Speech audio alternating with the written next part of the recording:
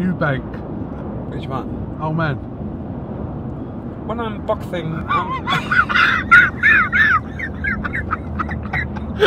God, God, God. this this is the the warrior's code. This is this is this is boxing. This is the sport.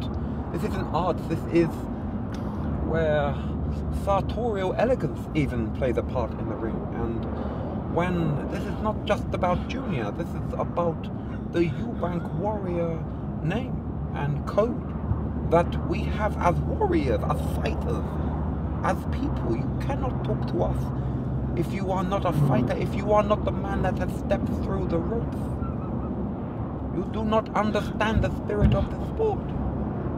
And I will tell you that when my son wins a world title, it will not be my son winning a world title. It will be me winning a world title. No, and, and Eubank was frightening. You know, I mean, you'd sit down and you'd negotiate virtually the whole deal, and we'd sit there round the table with Sky, and you know, and he'd say, "Right, I think we're there." But um, I'd just like to ask, um, who is commentating on the fight?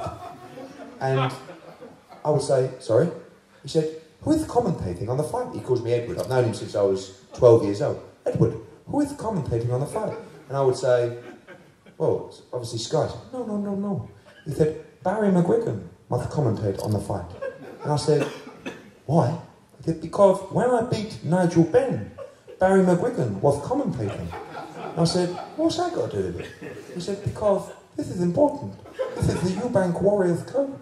You know, so, and, and it's literally, you know, it's, you get in situations like that and you're thinking, are you being serious? And, but li- little things, you know, and in the end, Chris Eubank talking to Conor McGregor about his boy Junior.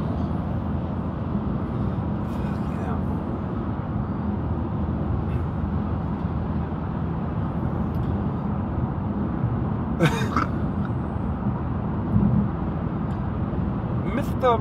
Mr. McGregor, I, I believe that is your name.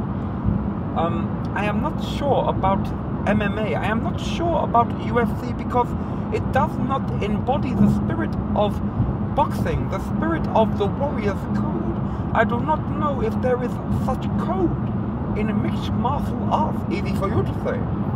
But you have to understand that if Junior ever got in the ring with you, he would finish you. Hold up, that guy. he is my son. He is a warrior. He is part of me. He is just an extension of myself. And if he got in the ring with you, he would he would take you to pieces. He's an Eldo nine. Eubank impersonation, okay, as people need cheering up. What we must understand is this is no longer about boxing. This is about life. This is about the warrior's code, going through life to overcome the problems before we get back to the art of pugilism. Hi, I'm Gordon Ramsay, and I'm delighted to be here with Chris Eubank Sr. Hello, English. How are you? You're right. Gordon, it's an absolute pleasure to see you. Oh, your fantastic. culinary delights are supreme. I watch all your shows. Unfucking one, Heaven's? Kitchen or whatever it's called. Oh, I love it. Have you been to restaurants around Vegas? I, I eat free at all of your restaurants. You may know this or not know this, but one thing I know about you, Gordon, Yes, is yeah. in fact you are a warrior in the kitchen place. Oh. Chris Livingstone Eubank. Because Okay. what you must know about Livingstone Eubank, aka English, is he is not a posh man. He grew up on the streets of Atlantic City. This was not an accent that was grown from the street. This was an accent that grew from becoming a warrior. Can I say, can I, let me tell you, this is a potential fight of the year between two warriors. Firstly, we have the warrior from Texas, Errol Spence. People call him the truth. But what we do not know is if he is a warrior, if he can handle the pressure, the power of eight ounce gloves. Can he take it? Has he got a good chin? Kel Brook, we know, is an excellent fighter. Against Golovkin, who of course my son would ruin if they were in a fight together. We all know that.